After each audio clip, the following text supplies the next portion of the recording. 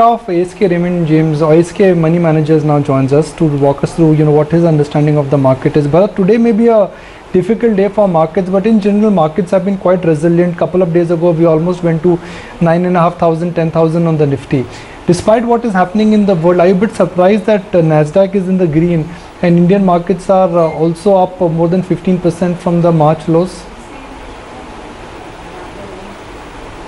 The real impact of COVID is not coming from the medical situation, it is coming from the distancing. And that is causing the physical uh, kind of a distance and stoppage of the work, and which is where the linkage and impact on the economy and on the businesses is coming. So I think medical issue, while it is important in itself, uh, we have to really see the impact of it is uh, through the linkage of physical distancing and on economy. So that's point one.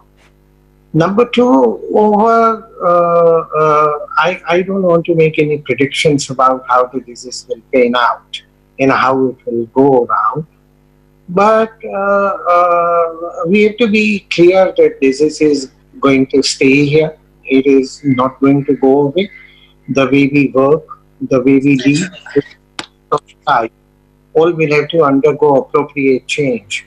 Till we find credible medicine and or uh, uh, vaccine solutions. Uh, science and technology compared to the past uh, have evolved a great deal and therefore some 850, 875 medicine and vaccine candidates are in different stages of uh, trials in different parts of the world. So there is a reasonable reason to have hope that in uh, compared to the past, relatively sooner, some kind of reasonable solution will emerge. Therefore, if we assume uh, that uh, maybe uh, lockdown will continue for some more time. Uh, we lost a half of March, most of April. For most businesses, fair part of May will be lost. And let's say, uh, which means it's a year of 10 months in a 12 month period. That's where the economic impact is coming. But on the other end, there are many activities which have been going on, many digital services, uh, whether telecom, entertainment, uh, other digital services, electricity, uh, all of them been functioning. Manufacturing activity to varying extent in different parts of the country to, uh, has been functioning also in a partial way. Agriculture by and large has been functioning reasonably all right. Therefore, it is not as if uh, everything is uh, kind of surrendered. But it may be fair to assume that maybe uh, from June we take another six, seven months before we get some kind of normalcy and uh, another six months to achieve probably the period where we were in January or February 20. Therefore, sometime in June 2021, uh, hopefully we will be in a situation where we were in January or February 2020. Therefore, in terms of the economic equation of the markets, uh, uh, we have to reset that equation. Basically, there are two sets of returns. One is a margin of safety, which is the gap of the price from the value.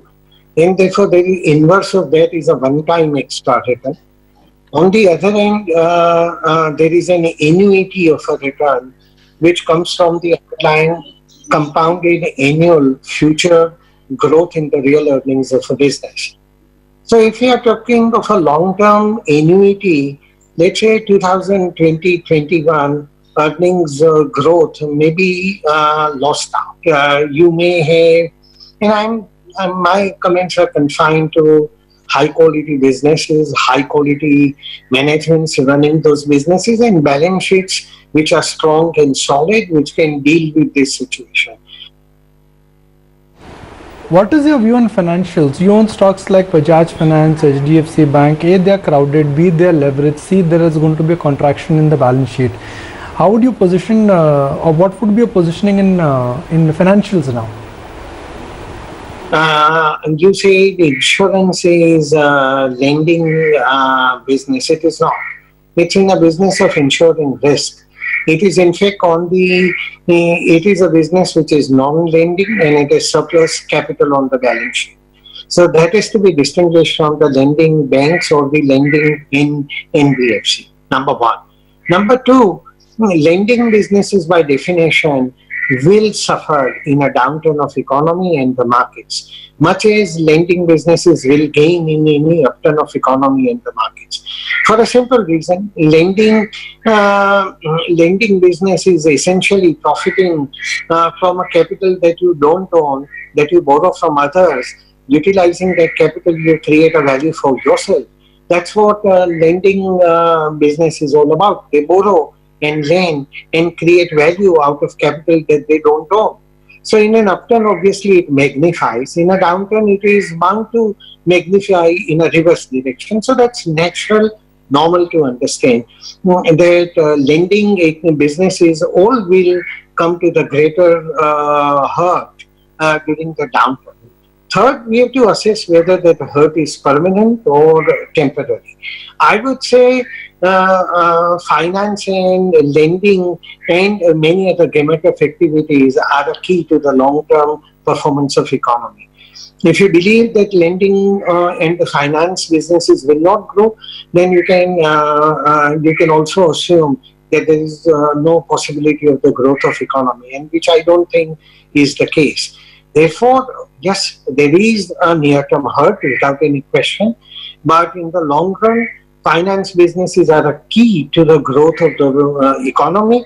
Finance activity by nature um, is a relatively more evolved segment of activity, more sophisticated, and it precedes uh, the growth of economy. It's a lead indicator. And therefore, I am pretty, pretty confident once the dust settles, we will see uh, things moving forward. Number three, if you look at it, uh, uh, the uh, uh the insurance businesses actually are gainers, not losers out of this. Sure, but is this you know new in this new normal? How are you really analyzing the sectors? You know, some companies are now finding advantages to work from home, particularly in telecom, tech. Um, you know, do you feel that this will affect the new normal in a positive way?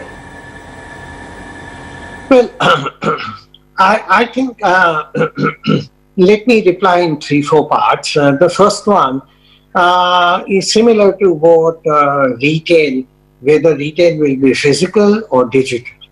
Uh, it will be both. And over a period of time, people have figured out that there is a part of the retail which needs to be physical, and then there is a part uh, which is digital, so both e-commerce as well as physical retail both have a place. There are um, reasons why each of the activities is a merit and reasons for remaining relevant to the uh, consumers and the customers. And therefore it is not a choice between this or that. It is both. And that is the way the uh, retail slowly is evolving it will deal with it and will find solutions uh, it may take whatever time, which I can't predict, uh, but uh, uh, don't assume that what is today is a forever phenomenon. Uh, at some stage, uh, fear will reduce, rationality will be stronger, and it will be rooted into the solutions that we find to deal with the challenge. that is what evolution and ability to survive and evolve and prosper is all about. Uh, thirdly, digitization already, and we have to be thankful to that.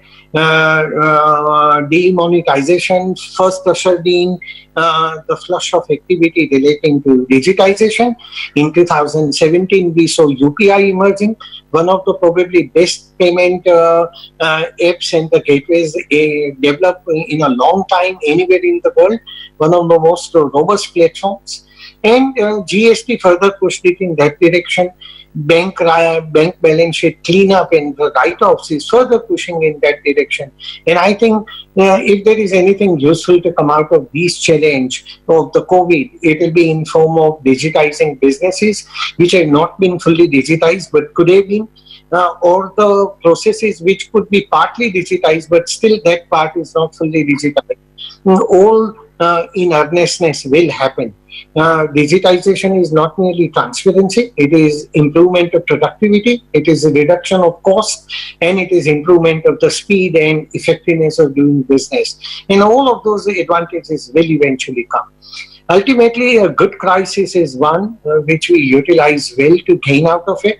It will be a wastage if we don't utilize it well. And therefore, I, I have far greater confidence in the ingenuity of the humanity to benefit from it. But it doesn't mean that we don't be cautious. We remain cautious. We have to remain watchful. We have to reconcile constantly assessment of the future with the present reality and keep reconciling as we move ahead. And that is the blend in which the businesses, markets, uh, and everything else will evolve. All right, Bharat, we'll leave it there. Thanks so much for joining us and taking us through your view on things as they stand. We're tracking Cipla today on the back of earnings. Let's